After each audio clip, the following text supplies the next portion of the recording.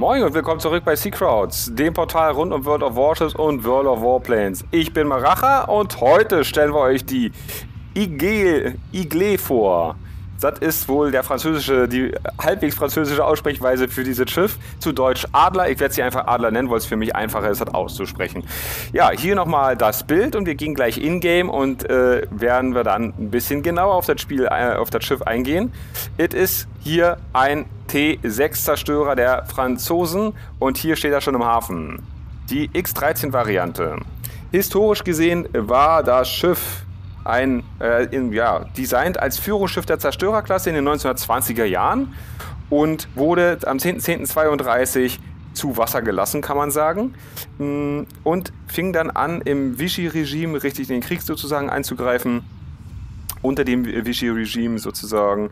Ja, am 27.11.42 wurde das Schiff sehr, sehr, sehr, sehr stark beschädigt äh, und wurde bis 10.07.43 repariert. Das alles hat dann nur ein paar Monate gehalten und dann kamen die amerikanischen Bomber und haben das Ding final versenkt am 24.11.43. Viel mehr kann man zu diesem Schiff aktuell nicht finden und auch nicht sagen.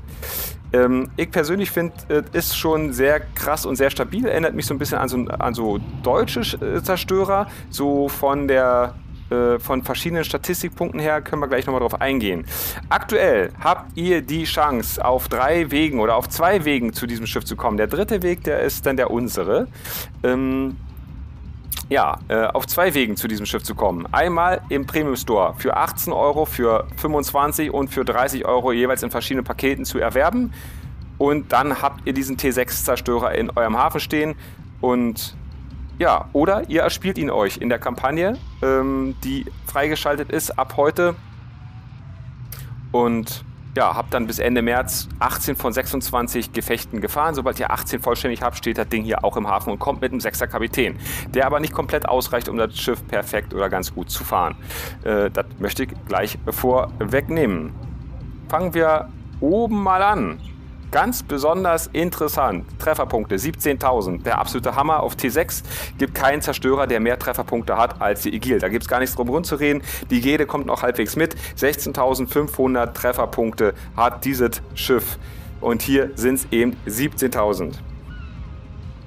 Ja, dann geht's weiter. Eine ganz besondere Geschichte ist die Artillerie. 5 mal ein Rohr, 139 mm, ebenfalls die größte Artillerie, das größte Artilleriekaliber auf T6, ähm, was sich auch dementsprechend in den verschiedenen Damage-Arten bemerkbar macht. Ich gebe einmal noch mal ganz kurz auf die Panzerungsanordnung zu äh, ähm, eingehen. Die spielt zwar als Zerstörer jetzt nicht so groß die Rolle, deswegen will ich auch nicht zu viel davon erzählen, aber wir haben hier bis 16 mm. Ihr seht, ähm, ja, keine besonderen markanten Punkte. Hier 16, 16, 16, überall 16, da sind es 10. Ja, hier vorne sind es 3. Ja, hm. Also äh, nichts Besonderes, wo man jetzt sagen müsste, boah, äh, hm, krass, äh, keine Ahnung. Also kommen wir wieder zu der, äh, zu der Hauptbatterie zurück. Ihr seht es hier, Ladezeit 4,8 Sekunden, ähm, ist jetzt nicht gerade die schnellste Nachladezeit aber verkraftbar durch den hohen äh, Alpha-Schaden, den die Granaten machen. Turmdrehzeit 27,7 Sekunden. So ziemlich das langsamste, was es im Spiel gibt auf T6. Und ja, die maximale Streuung hier 103 Meter. Er hat hier ein bisschen was geskillt, hat Module drin, deswegen sind es in Tatsache ähm, 111 Meter. Und ja, dann kommen wir zum HE-Schaden. Der hat 2000, der HE-Schaden, und ist damit ziemlich weit oben angesiedelt. Ähm, ich bin der Meinung, es gibt auch einen Zerstörer, der hat 2100 HE Schaden. Damit ist das Schiff ganz oben mit dabei, aber nicht das Beste. Und dann haben wir hier eine Brandwahrscheinlichkeit von 11,5% angegeben. Die Brandwahrscheinlichkeit müsst ihr 2,5% von wegrechnen, weil der Kapitän hier 2% bekommen hat, wie ihr seht. Und eine Flagge ist hier auch drauf gesetzt. Ich bin hier im Gast-Account, ist nicht mein eigener Account. Deswegen möchte ich hier nicht so viel verändern, sondern möchte euch das erzählen. Gedankenswerterweise hat Scotty75 mir den Account zu, für dieses Video zur Verfügung gestellt. Und ähm, ja, er ist bei uns im Clan, von daher ähm, vertraut man sich da auch untereinander. Und ja, wäre schlimm, wenn ich als Streamer äh, das Vertrauen nicht, äh, ähm, ja, nicht wert wäre, sozusagen. Äh, von daher vielen Dank. Ähm, ja, der AP-Schaden 2600 ist auch der zweithöchste, denn die Gede hat 3000 ja, auf, der, auf der Klasse. Also wie gesagt, das Schiff ist überall oben mit dabei. Er wird wahrscheinlich auch ein bisschen näher an dem Alpha-Schalen jedes Mal dran sein, wenn die Granate einschlägt, einfach durch das größere Kaliber. Ja, also ähm, die Verhältnismäßigkeit, wie nah man immer am Alpha-Schaden ist, hängt natürlich an, wo man trifft und so weiter, aber ich denke, durch das größere Kaliber machst du schon von Hause aus einfach mehr Schaden. So, ja, AP-Granatengeschwindigkeit sind 700 Meter die Sekunde, damit nicht das allerschnellste, aber auch nicht so, dass vom Himmel fällt. Das wäre ja dann nicht mehr so zielführend. Ja, dann das nächste, der nächste Punkt sind die Torpedowerfer. Drei, äh, zweimal drei Rohre, 550 mm und jetzt kommen eine der krassen Highlights. Äh, neben, der, neben, der, neben dem Kaliber der Geschütze die Torpedowerfer haben einen Alpha-Schaden pro Torpedo 18.400. Absolut outstanding, so um die 2000 Punkte mehr als die Fubuki hat.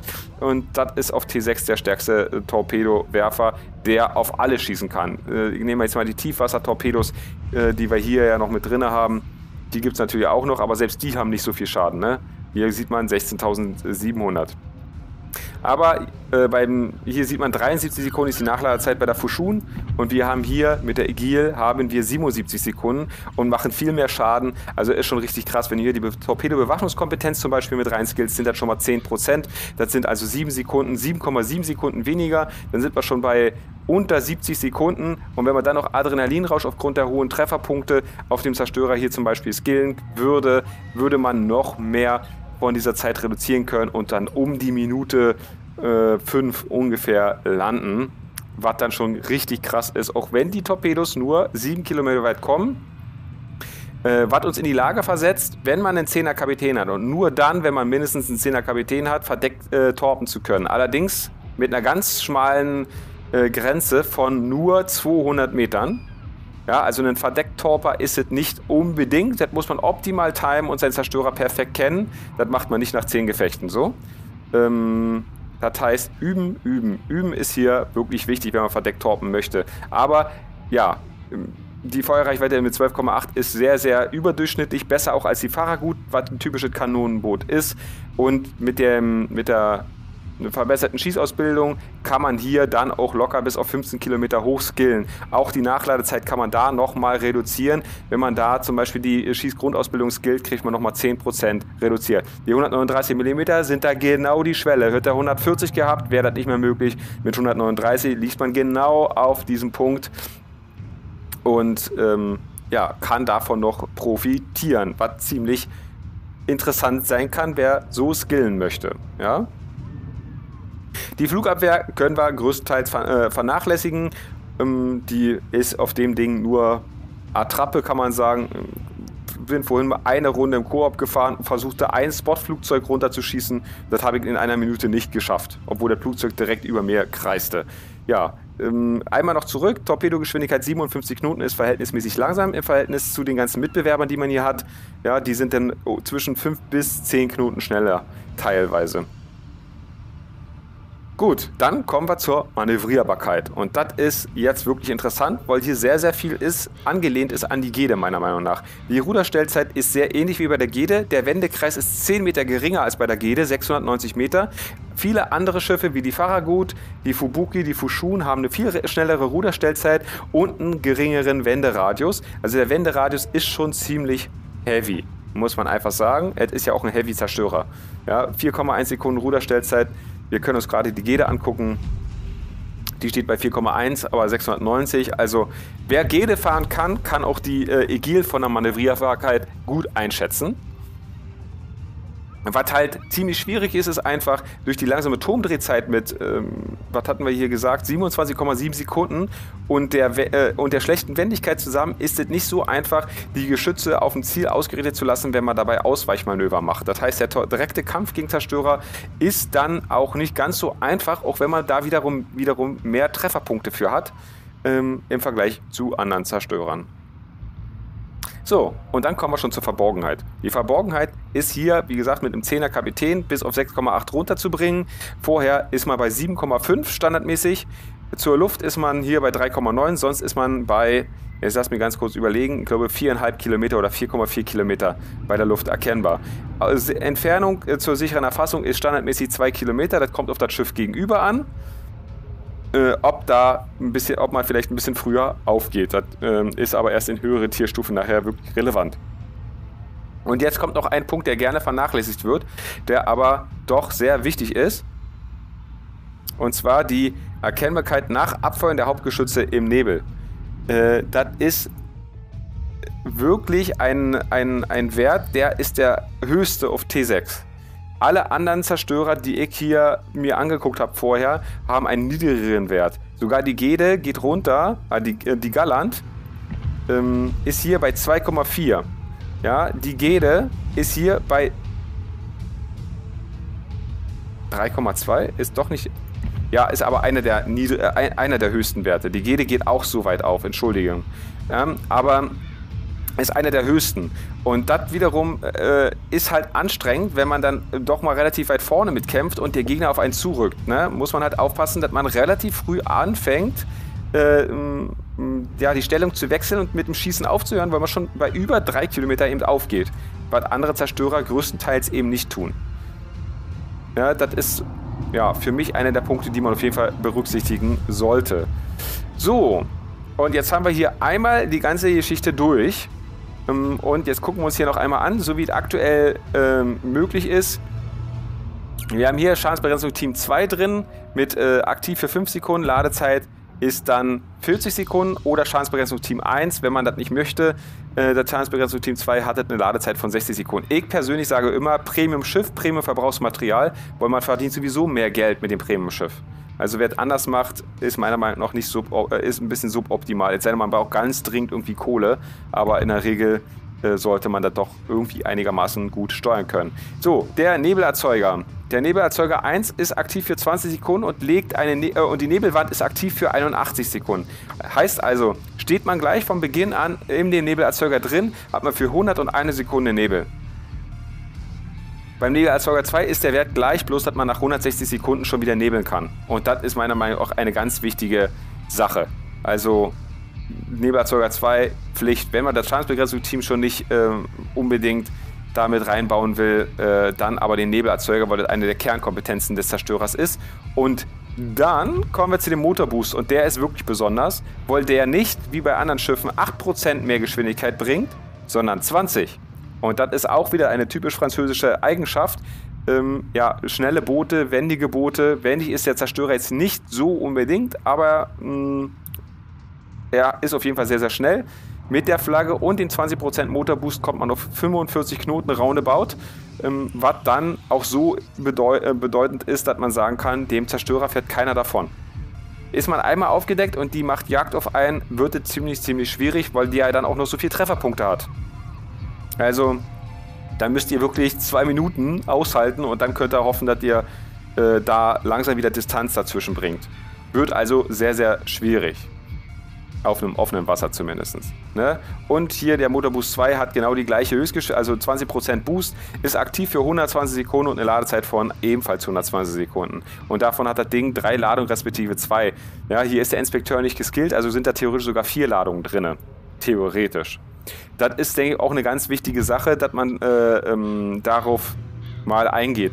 Verbauen kann man in diesem Zerstörer die üblichen Module, entweder Schadensbegrenzung, Antriebsmodifikation oder Steuergetriebemodifikation. Da muss man eben gucken, ob man Antrieb nimmt oder Steuergetriebe, je nachdem, ja, wie einem dazu liegt. Hier hat man eine Zielbewaffnung, äh, Modifikation 1, das hat er hier eingebaut, 7% Streuung reduziert und die Drehgeschwindigkeit der Torpedowerfer erhöht. Ähm, dann gibt es hier die üblichen Hauptbatteriemodifikationen und die Flakbewaffnung. So ist es auf dem Live-Server zumindest hier so ähm, dargestellt. Dann haben wir hier die Schadensbegrenzungsmodifikation, dann äh, Antriebsmodifikation oder Steuergetriebemodifikation. Ich persönlich würde hier wahrscheinlich zur Schadensbegrenzung Modifikation greifen, einfach weil man ja auch mal brennt. Und gerade wenn man so viel Struktur hat, ist es ziemlich ähm, wahrscheinlich, dass man mal brennt, sage ich jetzt mal. Ähm, von daher würde ich dazu wahrscheinlich eher greifen. Aber gut, so soll es eben sein. Hauptbewaffnungsmodifikation hat er hier vorne eingebaut. Äh, man kann hier auch noch die, Modif äh, die Modifikation oder Magazinmodifikation verbauen oder die Hilfsbewaffnungsmodifikation. Also das sind eigentlich die typischen Optionen, da ist nichts Besonderes dabei. Ja, und das ist eigentlich die Igil. Wir können noch einmal komplett rumschleichen um dieses Schiff, ja, um die ganzen feinen Details hier so ein bisschen mal genießen zu können. Ihr könnt das ja langsamer machen bei euch im, im Video oder sogar mal Pause drücken, wenn ihr euch genauere Sachen angucken wollt und das Schiff nicht selber im Hafen habt. Hier die französische Flagge mit drauf, ein bisschen die äh, Anti-Air. Hier steht nochmal schön Igil drauf. Zwei riesen Schrauben da unten drinne. Ah, sieht auch wieder wirklich schön aus. Die Wargaming-Designer haben sich hier wieder richtig Mühe gegeben, das alles schön fein zu verbauen und auch möglichst genau zu verbauen. Ja, und jetzt haben wir, glaube ich, so gut wie alles beleuchtet. Ähm, ich glaube, ich habe nicht äh, viel vergessen. Ähm, wir könnten ja nochmal gucken. Wie gesagt, die Brandwahrscheinlichkeit ist recht hoch zu bringen. Man könnte, hier den Tarnungsmeister hat hier ja auch schon mit drin. Jetzt ist halt die Frage, wie man dann halt arbeiten möchte. Man könnte eventuell die Funkortung bringen, um Zerstörer jagen zu können, um mit den größeren Trefferpunkten und dem größeren Kaliber den richtig einzuheizen. Ein Inspekteur ist eine Überlegung wert, wer gerne mehr Verbrauchsmaterial benutzt. Man könnte hier Schießgrundausbildung skillen, man könnte verbesserte Schießausbildung zusammen skillen, je nachdem. Ähm, man hat nur 19 Punkte maximal zur Verfügung und die wird wahrscheinlich jetzt auch noch nicht jeder haben. Ähm, es sei denn, ihr habt auf den Kreuzern irgendwie schon äh, Kapitäne hochgespielt. Dann wäre sicherlich der Elite-Schütze eine Überlegung wert, um die Drehzeit der Geschütze so ein bisschen runterzubekommen, weil hier noch zweieinhalb Grad pro, äh, pro Sekunde schneller gedreht wird. Da sollte man dann bei um den 20 Sekunden landen.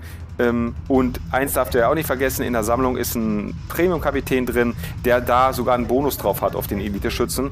Von daher sind es dann sogar 3 Grad die Sekunde und dann sind die Türme sicherlich schon wieder ein bisschen mobiler. Ja, und das soll es auch schon von der Vorstellung gewesen sein.